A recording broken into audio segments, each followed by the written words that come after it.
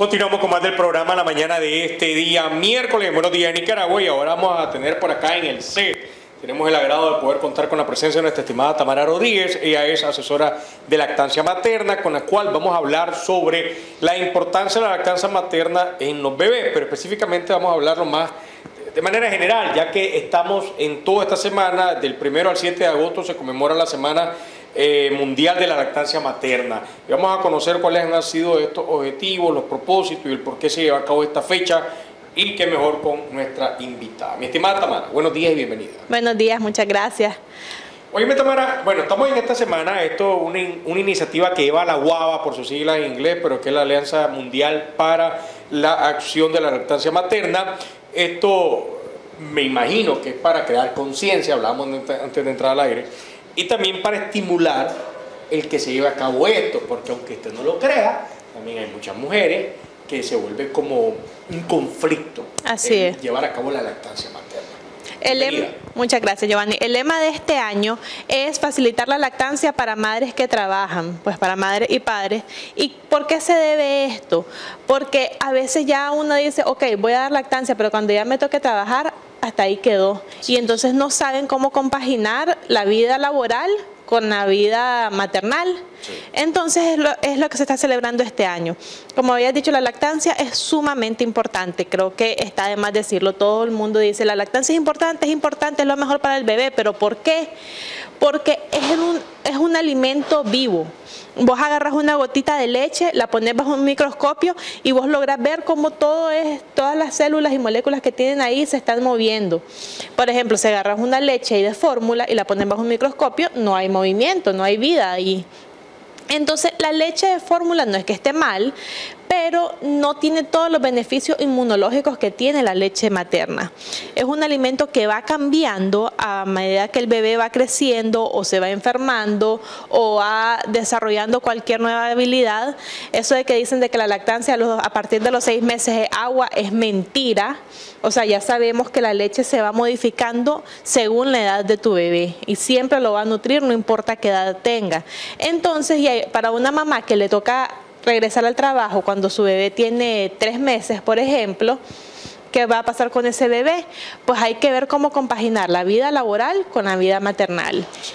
Pareciera difícil, pero se logra. Oye, eh, estás hablando de algo muy importante y es el hecho de poder primero conocer de los beneficios que tiene la lactancia materna. Y este es uno de los propósitos que por qué se lleva a cabo esta semana. porque, como le decíamos al inicio, lamentablemente no todas las mujeres piensan igual. Bueno, no todos los seres humanos pensamos igual. Pero en algo que creemos y suponemos que es un proceso de vida el poder también conocer los beneficios. Y este es uno de los objetivos dentro de la semana. Otro objetivo que hablan es que eh, exista un personal adecuado para poder enseñar lo que es la lactancia. Así es. Porque existen tantos mitos. Uno de ellos, vos lo decías, que a las seis meses mucha gente cree que se convierte en agua, eh, que esto ya no va a ayudar. Pero también hay otros que hablan de que el personal esté capacitado en los centros de salud y hospitales, porque hay muchas mujeres embarazadas que sufren de grietas, de dolores al momento de amamantar. Y esto no saben dónde acudir. Así mismo. Mira, pues vos mismo lo decís, ¿qué pasa? En la carrera, por ejemplo, de medicina, de enfermería o algo así, no existe una clase sobre lactancia materna. Incluso muchos pediatras ven solamente los beneficios de la lactancia, pero no cómo tener una buena lactancia. Y para eso existimos personas como yo, que somos asesoras de lactancia. Muchas personas no saben que existe pues esta categoría de personal de trabajo que ayudamos a las mamás a cómo eh, pegarse bien al bebé, a este, eliminar las grietas, que es algo que es sumamente doloroso. En cualquier problema desarrollado la lactancia yo los puedo ayudar. Es como cuando vos te duele la cabeza, vas a donde un doctor. Tenés un problema en un diente, vas a donde un dentista. Tenés problemas con tu lactancia, vas donde una asesora de lactancia. Y eso es lo más importante. Y además este día también se trata de crear conciencia para que se creen políticas eh, adecuadas para la lactancia materna. ¿Por qué? Porque lamentablemente todavía en muchos sectores esto es bloqueado. La lactancia materna en lugares públicos, la lactancia materna en el ambiente laboral, que existen leyes. ¿Qué pero, fíjate, eh, muchas mujeres nicaragüenses no saben, pero en el Código del Trabajo de Nicaragua sí hay un permiso para extraerse leche diariamente mientras la mamá sea lactante. No hay tiempo específico muchas mamás piensan que hasta los seis meses, no, no dice, no especifica por cuánto tiempo, solo dice mientras el, bebé sea lactante. Entonces, te tienen que dar en tu lugar de trabajo una eh, media hora al día y un lugar adecuado para que vos puedas realizar tus extracciones durante tu trabajo y vos puedas mantener tu lactancia mientras vos querás. Claro, no ninguna mamá, aunque la lactancia dure más de un año, ninguna mamá se extrae más, allá del año, ya que el bebé en ese momento ya come y aguanta el día, pero por lo menos los primeros seis meses o el primer año de vida, uno puede mantener sus extracciones mientras estás laborando. Ojo, y esto no sé en Nicaragua, pero qué bueno que Tamara lo ha hecho mención, en la ley sí está esto estipulado, pero en el nivel mundial ya existen de igual manera eh, sanciones aquellos centros o lugares de trabajo donde no existen un lugar en específico para llevar a cabo esto las mujeres que están en lactancia. Y también que con las condiciones, que significa condiciones? Que tiene que haber un, un área de refrigeración, porque esa leche que se extrae tiene que estar refrigerada al momento que ya salen y se dirigen para poder llevar a su hogar para que su hijo pueda perfectamente ingerirla. Otra cosa, ha cambiado, o sea, en esta semana también trata, hablamos de lugares públicos, nuestro país, hablando de Nicaragua específicamente, mi estimada Tamara, se ha venido trabajando en pro de también que estos lugares no solo sean en los centros laborales, sino que en áreas públicas, que cambie el chip de la sociedad, que si miran a una mujer amamantando un bebé, lo miran con mucho morbo, no lo miran como algo natural, como algo de vida lamentablemente se da todavía eso. Así mismo, así pasa y es algo que hasta yo misma he vivido en experiencia propia. Cuando ya tienes un bebé tal vez de más de un año, ya te dicen, ya está grande, ya está viejo, que no sé qué. Hasta a mi hija le han dicho, ¿qué es esa cochinada? Y al final, o sea, no es nada cochinada, no es nada morbo, no es nada malo. Estás alimentando a tu hijo, estás haciendo algo bien. No es que uno va a venir y sin descaro, pues te vas a, a mostrar tus pechos en público o algo uno puede tener cierto pudor a la hora de amamantar a tu bebé. Correcto. ven mal eso y de repente ves a un niño también de un año, de dos años y con una gaseosa y ese ahí no te dicen nada. No lo miran mal sí. y, lamentablemente está dañando la salud de un niño y una niña. Bueno, eh, todo este trabajo que se viene realizando ¿Ha cambiado los estereotipos acerca de la lactancia materna? Sí, yo veo que cada vez más, más madres quieren amamantar a sus hijos, más madres buscan, o sea, y, luchan por establecer una lactancia.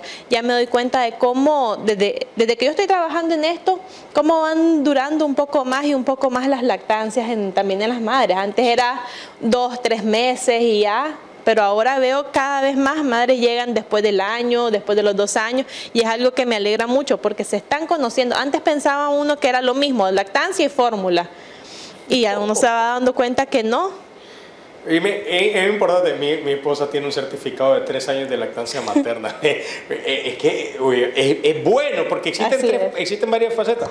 Está el calostro, que es lo más importante al iniciar, pero también, vos lo decías, está la, la, leche de transición y está también la leche madura.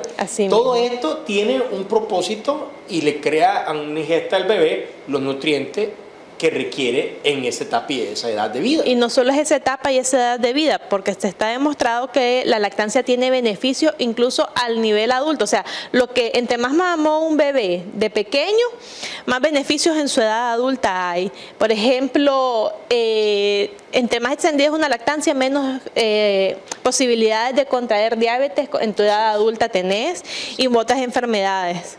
Me encanta lo que está mencionando porque eh, decía este informe que da esta sociedad que trabaja en pro de la lactancia materna y también con la Organización Mundial de la Salud, que la leche materna está llena de, de eh, aspectos inmunoglobinas, de, inmunoglobinas, perdón, que protegen a la bebé contra la neumonía, la diarrea, las infecciones del oído, el asma, entre otras enfermedades. Pero también para aquellas mujeres que todavía se niegan a la lactancia materna, porque eh, pueden quedar embarazadas, pero al momento que dan a luz, inmediatamente ya le, le ponen fórmula no teniendo ningún tipo de circunstancias que evite hacer eso, que médicamente le digan, no, no podés, pues, pero ya ni modo, pero sí podés, lo hacen también, por aquello de la estética. Oye, para aquellas mujeres que están en proceso de lactancia materna, ¿qué beneficios trae dar lactancia a sus bebés en también, ellas? También, entre más tiempo des lactancia, por cada año de lactancia materna que vos des, disminuyen, espérate, ahorita no recuerdo el porcentaje, pero de contraer cáncer de mama. Así es. Un alto porcentaje. O sea, es, un alto porcentaje porque la mama de la mujer no termina de desarrollarse, aunque seas una mujer adulta, tu mama no está totalmente desarrollada hasta el momento de tu lactancia. Ahí ya involuciona la mama y desarrolla totalmente. Algo que muchas creen de que primeramente se preocupa por la parte estética, que esto va a cambiar la forma de su seno, que esto va a hacer que el tamaño de ellos o que también la dimensión de ellos cambie y no, tienen que más ver los efectos de salud. La forma del seno y el tamaño, eso se cambia en el embarazo, es cuando más crecen los senos, no en la lactancia. Entonces, de lactancia o no, si ya tuviste un embarazo, ahí es cuando ya la forma estética de tu seno se ve alterada. Uno puede sentir mientras estés dando lactancia, sí, un poco alterada la forma, pero ya cuando la lactancia acaba, ya el pecho involuciona a su forma casi normal. Pero lo que no involuciona a lo anterior es como les digo, porque la mama se acaba de desarrollar ya totalmente y por el crecimiento que tuvo en el embarazo, pero no con la lactancia. Y hoy Tamara, hemos hablado de varios aspectos, hemos hablado de lo del bebé, hemos hablado de la mamá, pero ahora hemos de esa unión, el lazo que crea el dar lactancia materna al bebé, porque lo normal sería, y por eso muchos hospitales se le iban a la media hora, a 45 minutos de haber nacido el bebé, media hora, es mucho, creo todavía, ya le imponen al bebé a la mamá para, bueno, luego de nacer se lo ponen más, pero lo quitan para limpiar, para verificar, pero luego se le llevan. Pero los, los, los lazos que crea, entre la mamá y el bebé a la lactancia materna, por favor, emocional. Mira, es algo lindo. Les voy a contar algo sobre por qué se tiene que poner al bebé en lo que nacen, lo que se llama apego precoz. Porque en el momento del nacimiento el bebé está en estado de alerta. Vos ves que los bebés están llorando, que es lo normal, y la mamá también. Y en ese único momento se produce un nuevo set neuroquímico, tanto en el cerebro de la mamá como en el del bebé, para que haya una conexión y tanto mamá y el bebé se enamoren. ¿Qué pasa? Igual va a suceder después si, si tuviste una separación con tu bebé, pero no es lo mismo como cuando es en esos primeros minutos de vida porque tu bebé está alerta. Ya cuando ya pasa todo el tiempo del llanto del bebé, que ya lo limpiaron, uno ya ve que ya tu bebé te lo llevan ya más dormidito, ya pasa pues todo ese tiempo, porque ya pasó ese estado de alerta y ya se vuelve más letárgico. Entonces ya es más difícil crear esa conexión y ese primer apego y esa primera succión, que cuando se da la succión de un solo en el apego precoz, casi es imposible que haya problemas de lactancia porque es una succión eficaz. Estamos hablando entonces que la conexión emocional es algo adecuado, correcto, que también te brinda y te ofrece la lactancia materna. Así es. El hecho del apego, el hecho de la seguridad, la confianza en, de manera emocional en el bebé y no hablar de los beneficios que tiene esto en la salud del bebé. Ok, ahora la lactancia materna ha venido cambiando y esta semana también trata de hablar de esto porque eh, antes existían muchos mitos.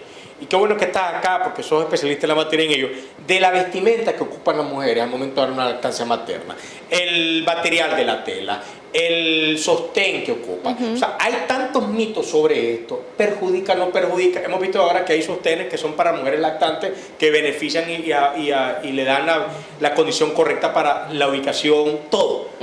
¿Esto ahí perjudica en su momento, te beneficia, por favor?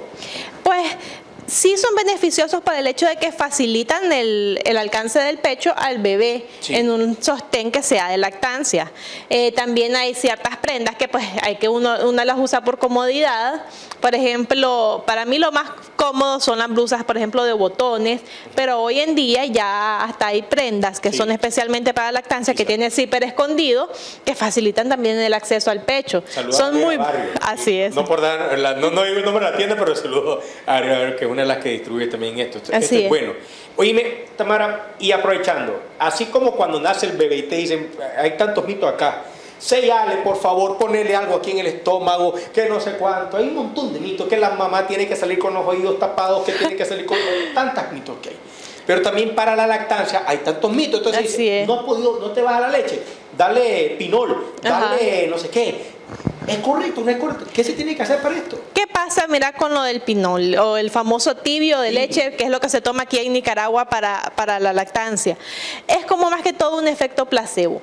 Porque entonces vos estás tomando tibio, estás tomando tibio y vos te, te pensás que eso ya te va a ayudar a producir leche. Y como yo siempre he dicho, la lactancia es 90% este, ganas y 10% agua. Porque sí tenés que estar muy hidratada para poder tener una lactancia materna. Entonces, entonces lo mismo en otros países, es avena, en otros, o sea, dependiendo de la región es un alimento distinto, pero independientemente del, alimento es la gana de la mamá. En la Cruz de Río Grande, ya en, en, la costa, eso sopa de frijoles con cangrejo. Esa no me la sabía.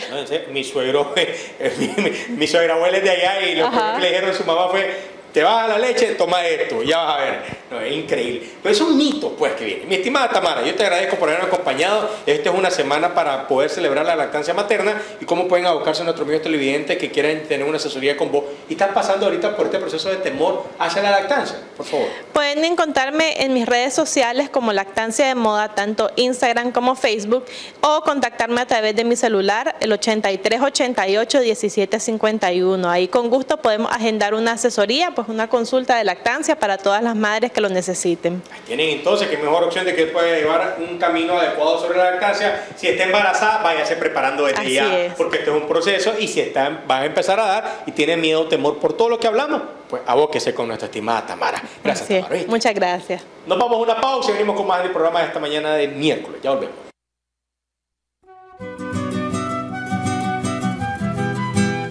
Reconocimientos denuncias, quejas y sugerencias, envíelas a Canal 12, programa Buenos Días Nicaragua, Residencial Bolonia, o llámanos a los teléfonos 2266-0691, 2266-9983, 2266-9984. Escríbanos a nuestro correo electrónico canal12 arroba canal12.com.ni Redes sociales, Facebook Noticias 12 Nicaragua, YouTube, Canal 12 Nicaragua, Twitter, arroba Canal 12 Nic. Visita nuestro sitio web www.canal12.com.ni.